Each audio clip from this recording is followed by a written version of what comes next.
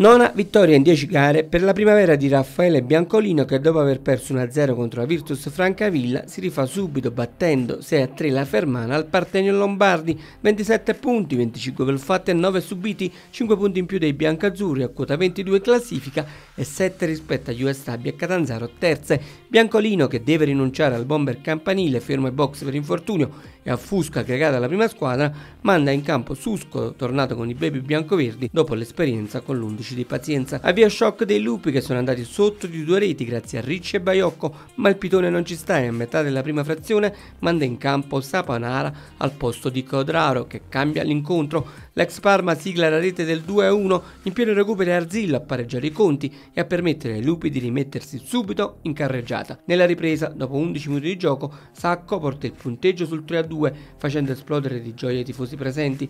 Il 4-2 è firmato da Palamara, Sapanara al 32esimo cala il pokerissimo. Al 35 Bagi ad accorciare, con D'Amico che sul finire del match sigla la sesta rete su assist proprio di Saponara. Nel prossimo turno i biancoverdi saranno impegnati sul campo del Gubbio.